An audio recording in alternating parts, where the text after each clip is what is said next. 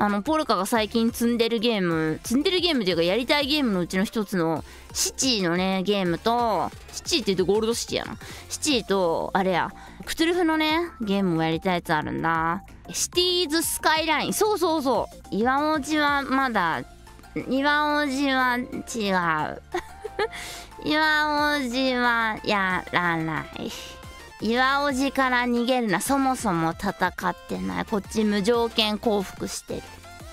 間を取って壺もしない。壺はパトランプのお姉さんがやってるからやってオルカとコラボする？うんぶっちゃけ。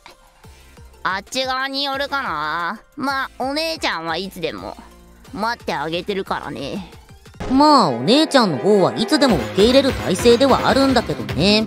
パトランプ猫猫元パト姉ちゃんがさポルカの名前出しとくショーツちょっと伸びてない？ねえ。ちょっと味しめだろあれ。味しめだろ姉ちゃん。姉ちゃん味しめてるでしょあれ。姉ちゃん。あれさなんかちょっと味しめしてないか？ポルカのやつちょっとなんか再生数伸びてるよ。パチスロするの？あ演出が好きなだけでするっていうほどのことではないかな。ちょっと味しめだよあれ味しめ。ちょこの前見ちゃったじゃんずっと。全然関係ないゲームの。動画ずっと見てたパートネーの。なんでお姉ちゃんって呼んでるかっていうとその VTuber の家族設定にのっとりあのポルカはねその同じコーマシロママが書いてくださってるクソゲーパトロール猫さんのことをお姉さん言ってるんだけどずっとショーツとずっと動画見てた気づいたらはっってなった 確かにこのゲームどういうの宣伝で見るけど何のゲームかよくわかんないなっていうゲームずっと見てた。ちょっと面白かった。すごい独特ななんかショーツの喋り方はこんな感じでゆっくり喋るんだけど配信はめちゃくちゃ早口っていうかテンション上がってもっと感情がこもってる感じなんだけどテンションが上がって普通に可愛いしほぼ縦型なんだよね。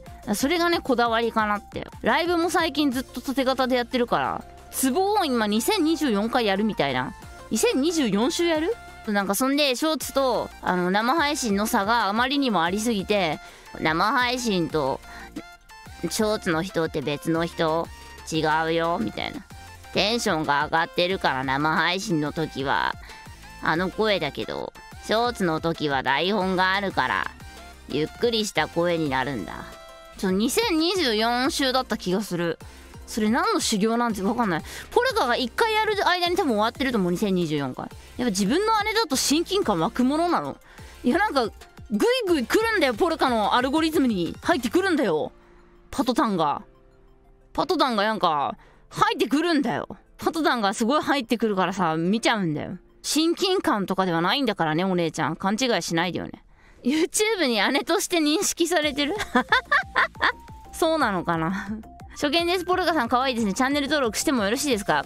許可を取る前にチャンネル登録をしろー！しろしろしろしろしろしろしろしろしろしろしろしろしろしろしろラッシュ妹も今や朝活をするというのにいやすごい増えたよそういうくくりで言ったら本当に姉妹がたくさんですポルカには大体色素薄いみんな色素が薄い面白い白白白白こうめ白ってね人の名前がすんじゃないコーマシロ先生が怒っちゃうぞ。